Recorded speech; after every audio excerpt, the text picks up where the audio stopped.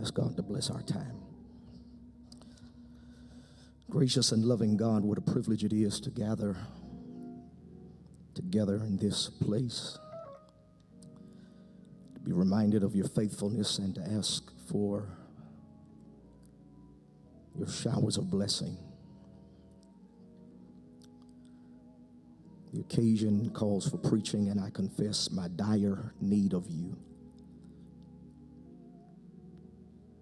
I beg of you, Lord, to pour fresh oil on my head. Give me clarity of thought and precision of speech. Use me, please, as an instrument in your hand. And we who are gathered ask you for listening ears, receptive hearts, and ultimately responsive lives. Help us to leave better than we were when we came. And so, Lord, would you please be pleased by the worship of our preaching and hearing. This is what we're asking for in the wonderful and strong name of Jesus the Christ. Those who believed and agreed said, Amen and Amen.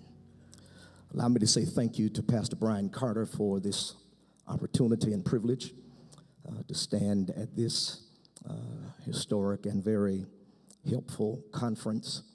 Uh, and thank you to all of those who have made our time here uh, enriching. Uh, I am completely unqualified to stand up here, uh, but I'm up here anyhow, so pray with me, please.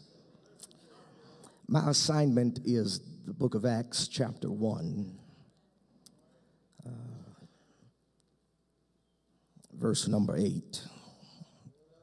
I've been assigned to address the mission and I'd like to do my best to fulfill that sacred trust. Acts 1, verse 8. But if you permit me to back up to verse 6 to get a running start at the words of Jesus in verse 8. So when they had come together, they asked him, Lord, will you at this time restore the kingdom to Israel? He said to them, It is not for you to know the times or seasons that the Father has fixed by his own authority, but you will receive power. And the Holy Spirit has come upon you and you will be my witnesses in Jerusalem and in all Judea and Samaria and to the end of the earth. I'd like to address that theme given to me the mission. Uh, the mission.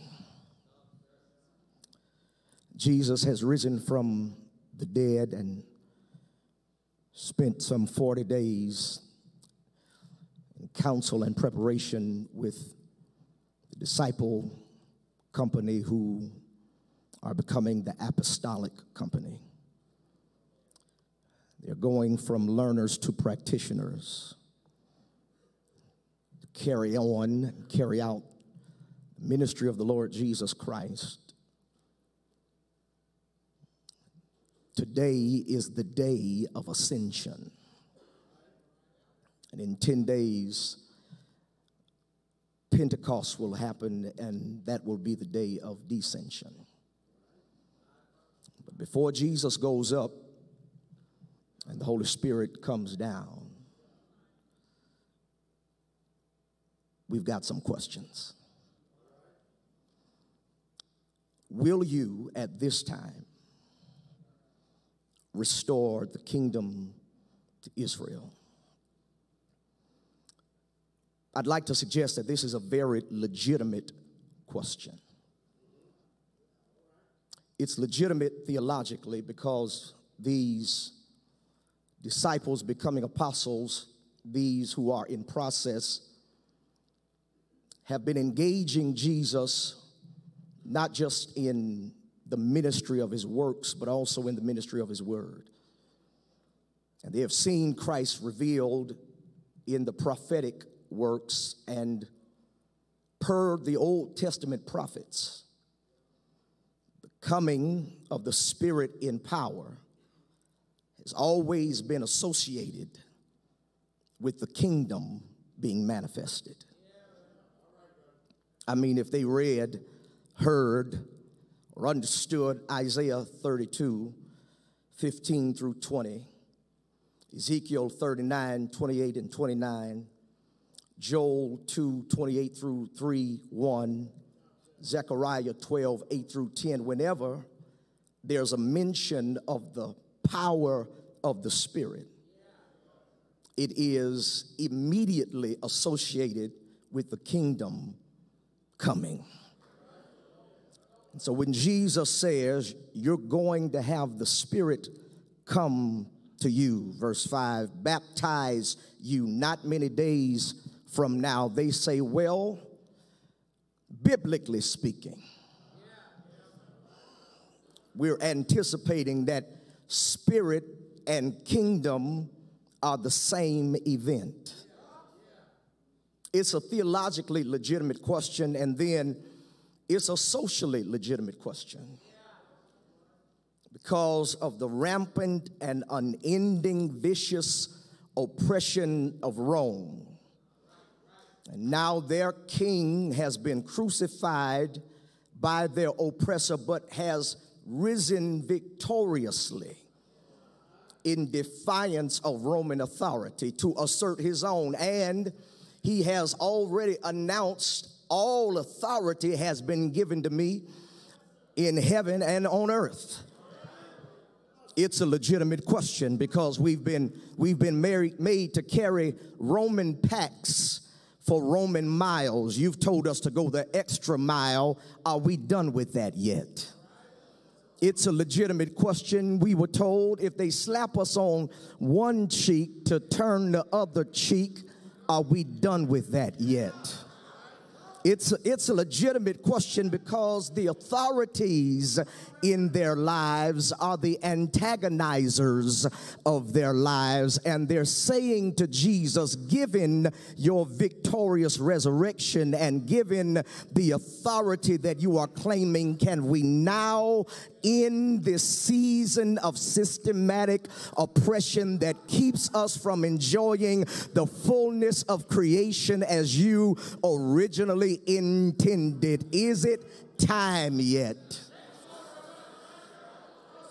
For the kingdom to come, for you to rule, for you to reign? Can, can, can, we, can we be done with cops shooting unarmed black men? Can we be done with, with children being intentionally marginalized educationally so as to limit their opportunities at economic advancement? Can we be done with the gentrification of our neighborhoods historically so that they drive our property value down, move in, make it cool, and then make it too expensive for us to live there? Can we be done with unfair juries?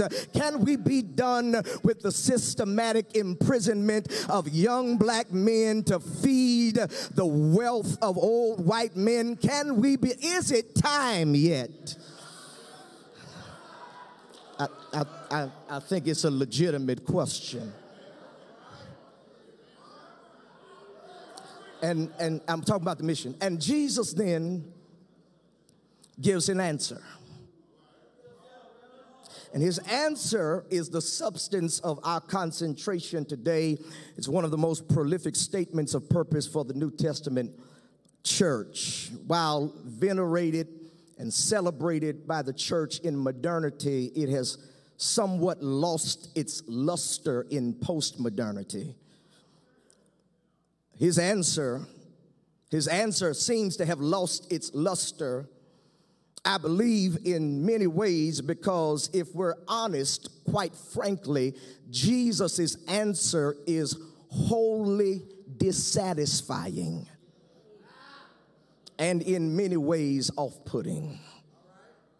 His answer to people enduring significant suffering and those seeking theological clarity about the timing and ways of God is dissatisfying. Here's the simple truth of his answer to what is another form of the same old question Lord, how long? Here's his answer God has chosen to reveal the content of the kingdom while at the same time concealing the chronology of the kingdom. It is not for you to know the times or seasons that the Father has fixed by his own authority. That's, that seems to be a somewhat frustrating answer, my brothers and my sisters. It's frustrating because it means that this term fixed, it suggests that God has established a day, a moment, a time of manifestation of kingdom in its perfection and deliverance for all of those who are oppressed, and your suffering doesn't make God rush.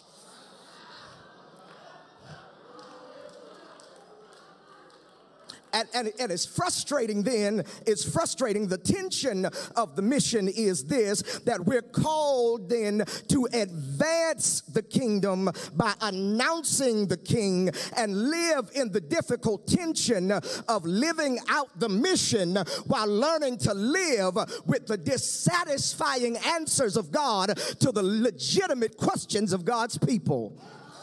I don't know if this is playing yet. Let me say it another way. I'm saying that God says, I got the date, you do the duty. And if you do the duty, don't worry about the date. When the date comes, if you're found dutiful, your duty will meet with my date and you'll experience deliverance. That's so so then what am I to do? What am I to do? What what what, what, what can the righteous do? What, what am I to do? While, while, while I've got to live a mission, while I have dissatisfying, while I have dissatisfying answers, I, here, here, here's Jesus is, you shall, you, you, don't, you don't have to know, but you shall receive. You shall receive. Verse 8, verse 8 is my assignment. You don't, you're, you're not going to know, but you shall receive. Uh, uh, I, I'd like to take I'd like to take the prism of verse 8 and, and, and hold it up to the light of, of, of our understanding and see if we can't see some refraction of the rainbow of God's truth for our lives. Here it is. It begins, the mission begins with an empowerment. You shall receive. This, this, this is a futuristic, predictive uh, term. You shall receive. It's, it's predictive and it's promise. You shall receive power. Power when the Holy Spirit has come upon you. It's, it's an empowerment. That is, that is that though you have to live with tension and frustration in, in the working out of ministry, please know I'm equipping you to be effective despite the frustration. You, you shall receive power. Power power is is is the is the is the energy of god the the energy of god. Power power. And and and and and, and really really we have a theological quandary because because chapter 2 is the manifestation of this promise. In pentecost at pentecost they they receive the Holy Spirit and power. There is a descension of spirit in, in terms of manifestation, but but but it, it can be theologically argued that they didn't receive the Spirit at Pentecost. They had received him in John 20.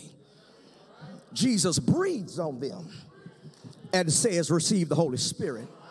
I, I, I, would suggest, my brothers and sisters, that, that it can be legitimately, theologically argued that, that, that the Spirit was in them uh, that's what happens when a person comes to faith in Jesus Christ. There, there is the indwelling of the Holy Spirit that seals an individual until the day of redemption. Spirit in is the earnest or the down payment for our salvation. Spirit in is, is, is being saved and assured that once rescued from the wrath of God by the grace of God through faith in the completed work of Jesus Christ on the cross, once, once one has believed, the person can never be lost again. Spirit in means I'm going to heaven when I die. Spirit in means that one day in the sweet by and by, when I stick my swords in the sands of time and study war no more, I'll be able to read my title clear to mansions in the sky, bid farewell to every tear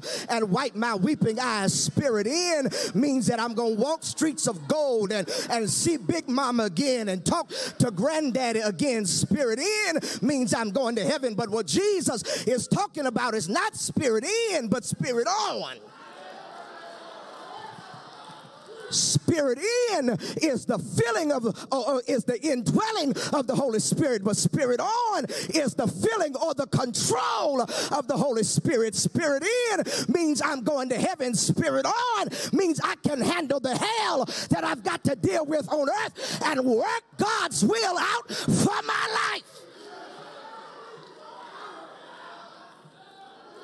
Spirit has come upon you. It's an empowerment then. It's an empowerment. That, that spirit in is permanent, fixed, immediate at the moment of conversion and and and perpetual. But spirit on is a moment by moment yielding. The apostle Paul will say it in Ephesians 5 and 18, be not drunk with wine wherein is excess, but be filled keep on being filled. Don't you see the refrain throughout the book of Acts in, in chapter 2? They stood up and they were filled then, then Peter and John, after, after being sternly warned not to preach in the name of Jesus, once again, they were filled in chapter 4. Don't you see them again in chapter 8, my brothers and sisters, or chapter 7, when Stephen is getting ready to be tried and ultimately stoned for the blasphemous uh, concern that he raises that Jesus is God and the Son of God according to the Jewish law. Do you see them here? Do you see them standing being filled with the Holy Spirit? Philip in his encounter with the eunuch, and then in the city of Samaria, where there's great joy that he's filled all over again at Cornelius' house when the gospel is proclaimed and they believe. The Bible says they were filled again, filling my brothers and spirit, sisters, spirit upon you is when you yield at the moment where ministry is required and the power of God gives you an enablement beyond your personal giftedness, beyond your education, beyond your learning, beyond what you heard, but something on the inside gives you a power.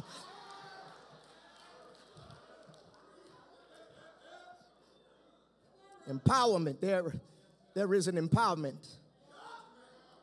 God's energy for your assignment. There's an empowerment. Power is coming upon you.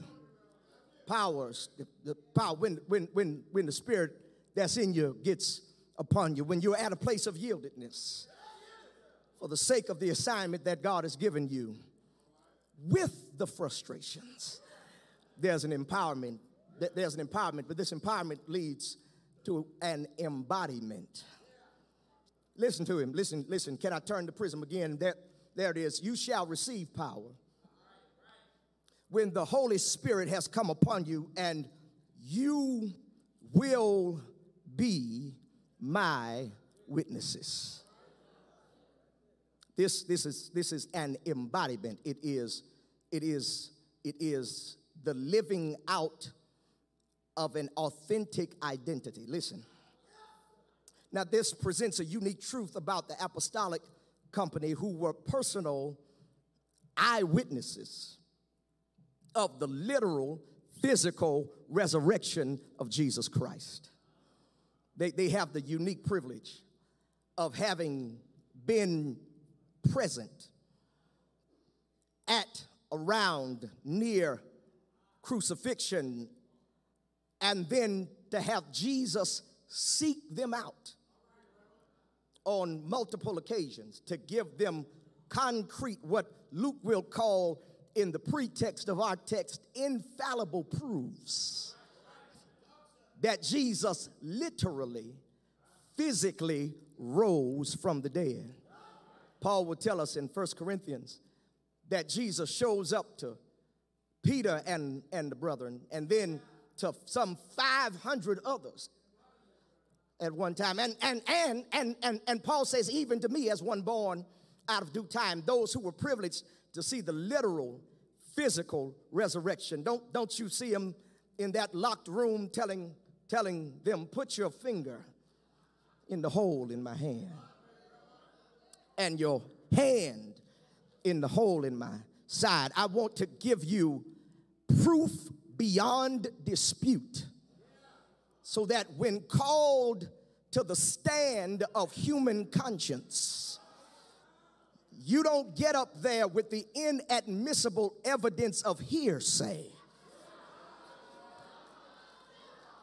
You, you, have, you have a certainty based on lived experience. This is unique for the apostolic company. And the question then arises how can we be witnesses of the resurrection if we have not been privileged to encounter the literal, physical, resurrected Christ? Now, I know some of y'all are deep and spooky.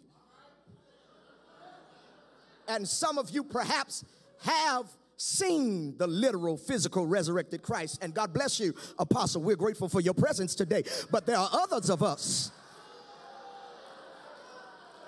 who will just be honest and say, We haven't seen him.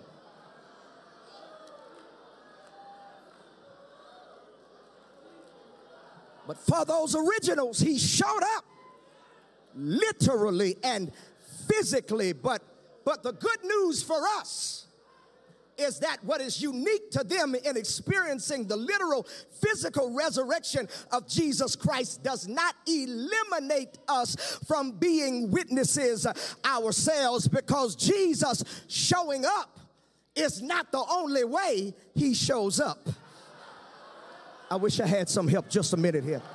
I mean, some of you have been sick and know he can show up as a doctor in a sick room. Some, some of us have had to go to court and knows that he, he can show up as a lawyer in the courtroom. Ha, ha, has he ever show, he, he will show up and whatever your authentic lived experience is. Here's the thing, as I talk to preachers and pastors today, completely unqualified to be here. Let me also say that our frustration oftentimes in leadership in church in trying to in trying to encourage evangelistic uh, uh, uh, evangelistic movement in our people is that we're trying to get them to do witnessing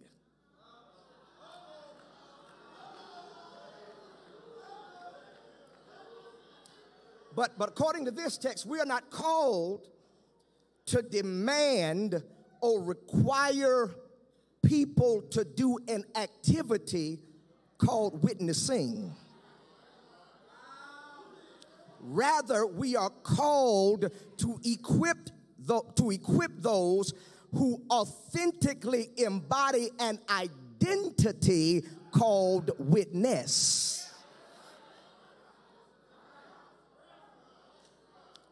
It's got to be who you are.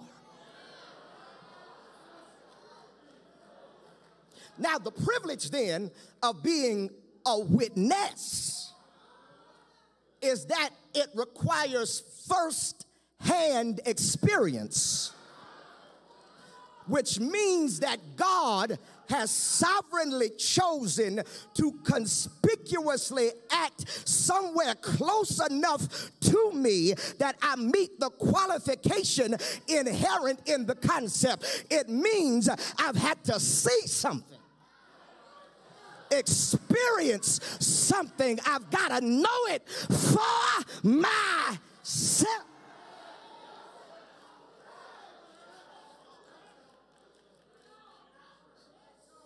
When I know it for myself, witness is the authentic embodiment of who I am, not a part time activity I participate in one Saturday out of the month. I am a witness.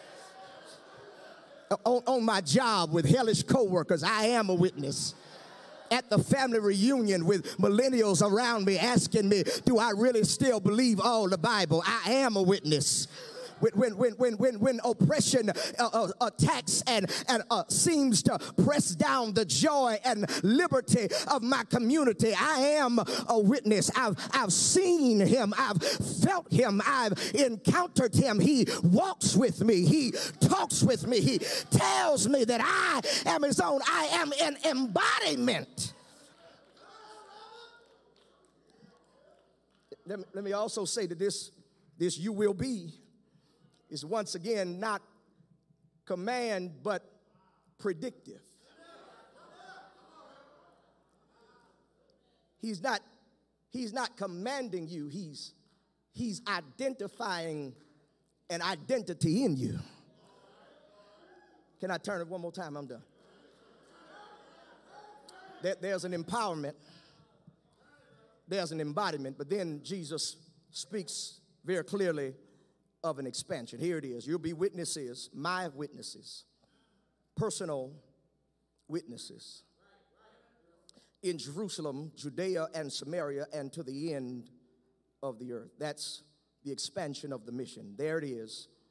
You, will be my witnesses. You, you, will, you will authentically embody the reality that you have had an experience with me, empowered by my divine presence that is in you coming upon you to be effective in your assignment, even with your frustrations and, and, and dissatisfied answers.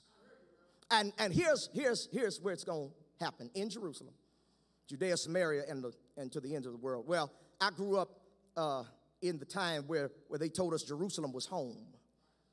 You started home, but Jerusalem is not home for these who Jesus is speaking to. Galilee, Capernaum was home. Jerusalem is the last place you want to start talking about Jesus. They had just killed him. One scholar says that Jerusalem is the most wicked city on the planet at this time.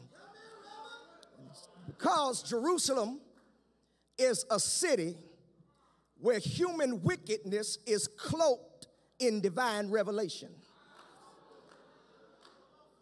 It's where people live out their wrong under the cover of righteousness.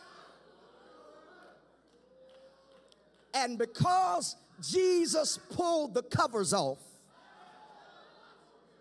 and exposed what true righteousness was, both in his message and by his own authentic identity as the God man. They had to get rid of him. And Jerusalem is not the place you want to start, Jerusalem is the last place you want to go. But Jesus says, I want you to take this power and live this identity in the last place you want to go. Because impact is necessary uh, or is most clear where it's most needed. Let me say it another way. I, uh, I was, I, I, I, I, tried to be nice. I try to be sometimes nice to my wife, and I bought her um, uh, a bracelet uh, that, that, that was broken. Uh, it wasn't broken when I bought it, uh, but it got broken later. And bought a, a, bracelet, got broken, took it to the jeweler to get it fixed. Um, and the jeweler said, This is a beautiful uh, piece of jewelry. It had become stale to me, mundane. I'd seen it several times, but, but, but the jeweler took that bracelet after he had fixed it and cleaned it and laid it on some black velvet.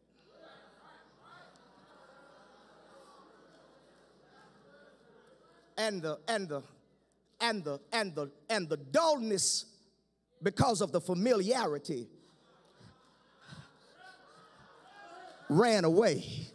I was again enamored and, and amazed by the beauty and the brightness of the bracelet, but I couldn't see how beautiful and shiny it was until it was laid on the black velvet. God says, My grace is a shining diamond. My, my, my love is a shining jewel. My, my compassion is a glorious and shining privilege. But sometimes you and I can get dull to the glory and the majesty and the privilege of what it means to be in relationship with the eternal God of the universe. And so he lays us in a Jerusalem where the black velvet of sin can cause the grace of God to shine shine anew and afresh in our lives. Jerusalem. I, I want to tell you, I don't care how wicked it is, if it's Jerusalem, the gospel works there. But, but, but go on from Jerusalem, then Judea and Samaria. J- Judea and Samaria are one regionally, but divided racially. Same place, but they think they're different people because of heritage differences. But the gospel works there in the midst of racial and religious division in Judea and Samaria, the one thing everybody needs is the grace and the mercy and forgiveness of God. And if you will tell them the good news of the gospel, the gospel works down through. But then to the end of the earth, specifically to the Gentiles, to those outside of the family of natural Israel, symbolically to all humanity. And here's the good news the gospel works there. to people who have no God consciousness, seemingly, their behavior suggests they have no interest, no concern with being saved. But take the gospel there because the gospel works there too. The, the gospel works there too. The gospel can say, now this end of the earth is another point of tension, and I'm through, because that would include the oppressor. You just asked him, Are you getting ready to deliver me from? But Jesus saves oppressors too.